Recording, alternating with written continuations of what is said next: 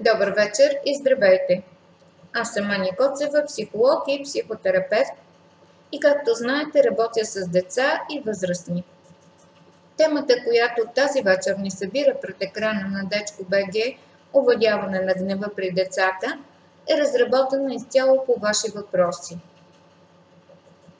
Очевидно, гневът е силна емоция, която завладява човек тогава, когато пред изпълнението на негово желание или удовлетворяването на негова потребност се появи препятствие, което на пръв поглед изглежда непреодолимо. И колкото по-силно е било желанието или по-важна е била потребността, толкова е по-висок интензитета на емоцията, която завладява човека. За да се научат децата да управляват своите емоции, е нужно това да започне още от онзи добре познат на родителите период между 2 и 3 годишна възраст, така наречения детски пубертет, бебешки пубертет. Тогава гневните изблици при децата се увеличават, тъй като те имат желание да манипулират околната среда, да се справят сами, без реално да имат ресурс и без това да може да им се получава.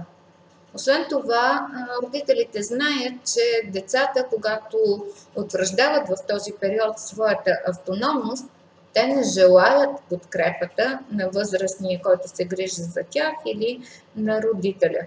Това в тях, в децата, създава силно чувство на фрустрация, с което те не могат да се справят и се стига до гневните изблици. В този случай това, което помага, е родителите добре да познават чрез наблюдение, да опознаят своето дете и да разпознават маркерите, които показват, че емоцията при детето би ескалирала до гняв. Тази емоция може да бъде предотвратена, ако се знае, че вниманието на децата на около 2-3 годишна възраст е доста неустойчиво и то лесно може да бъде пренасочено.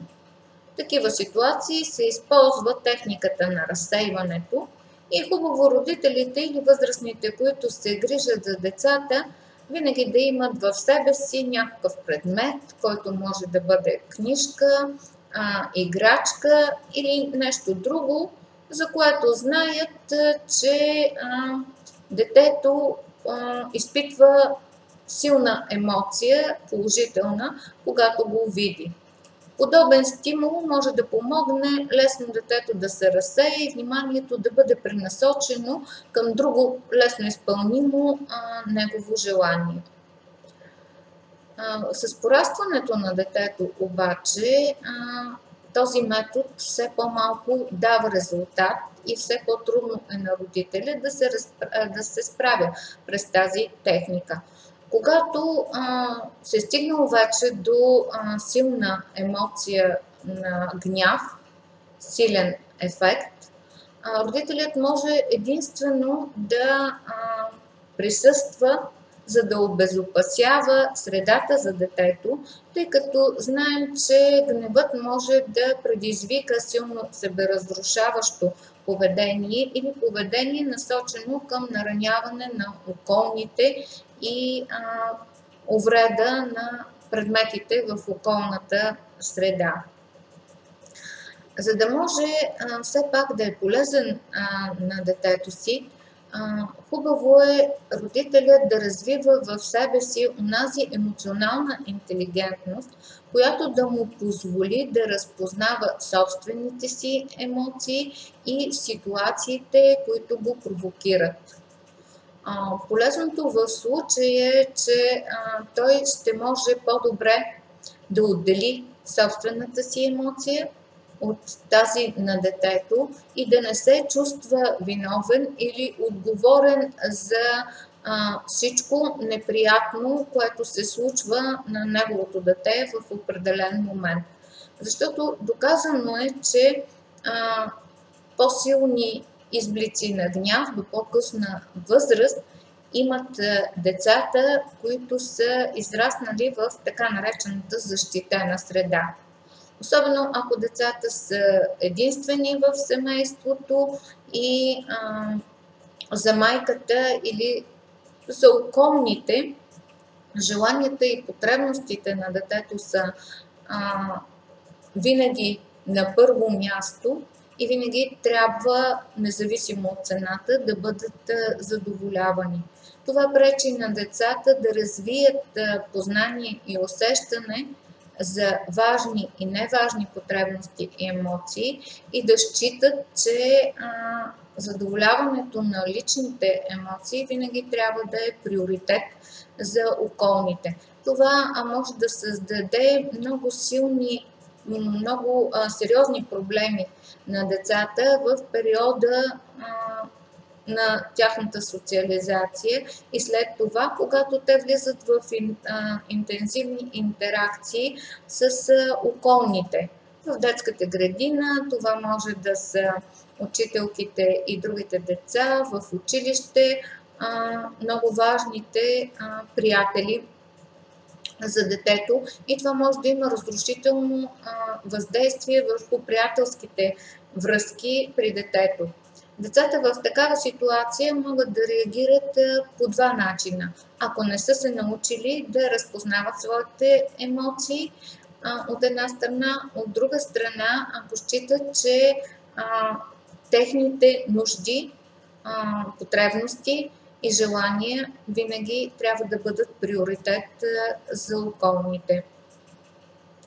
А, затова а, самия родител е нужно а, да знае и да развива усещане за това а, какво е необходимо в момента на детето и кое може да бъде отложено във времето. Така че много пъти сме говорили за това всъщност. А, детето да освои родителския модел по един съвсем непринуден начин. Знаеме, че моделите на поведение, които задават родителите в семейството, се освояват без трудности от децата, независимо дали те са положителни или отрицателни. Какво може да помогне на децата да се справят и да овладяват своите гневни изблици? Хубаво е родителят да, да знае, че емоцията, силната емоция, когато вече се е стигнало до нея, тя не трябва да бъде потискана, тъй като това може да а, доведе до неблагоприятни физиологични последствия в тялото, както на децата, така и на възрастните, разбира се. А, затова а, въпреки обучението, през което децата минават за овладяване на гнева, добре е да имаме вкъщи няколко меки възглавнички или меки табуретки, където децата още от най-ранна възраст да се обучават да изливат своите а, негативни емоции.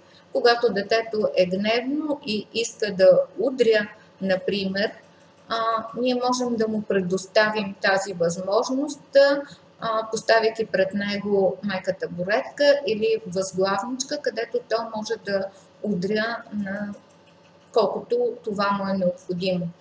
Един друг начин е детето да бъде обучавано а, да, м- така, да разкъсва, например, хартия. А, това е може да бъде някакъв вид за списание или амбалажна хартия или вестници. А, самия шум и силата, която се изисква за разкъсването, помагат а, на децата да а, излеят силната негативна емоция и а, това може да ги успокои. Друг начин а, за справяне когато разбира се имаме повече пространство в къщи, може да бъде да научим децата да се движат интензивно тогава, когато са завладени от силна емоция или негативна или от гняв.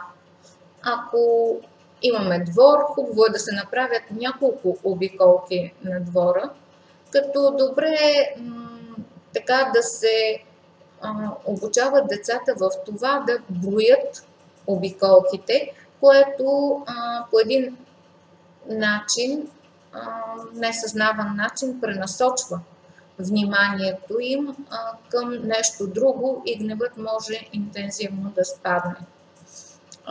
Ако децата са по-малки, един друг начин на разсейване, ако родителят може да се покаже на прозореца и да прави различни смешни мимики или така да изпълни някаква роля, която знае, че детето обича, да провокира детето да участва съответно в ситуацията. Ако това обаче не може да се случи а, и детето а, все още е в силната емоция и ефект, а, добре е то да бъде оставено а, да я изживее до край.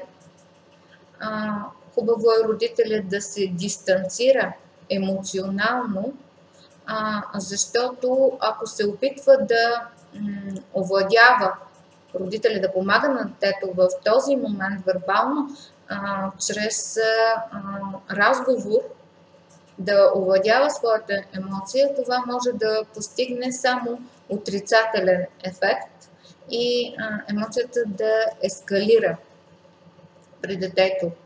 А, добре е да се знае, че в тези случаи децата не чуват и а, определено, когато се получи конфликт, а, за него може да се разговаря тогава, когато силната емоция е отшумяла.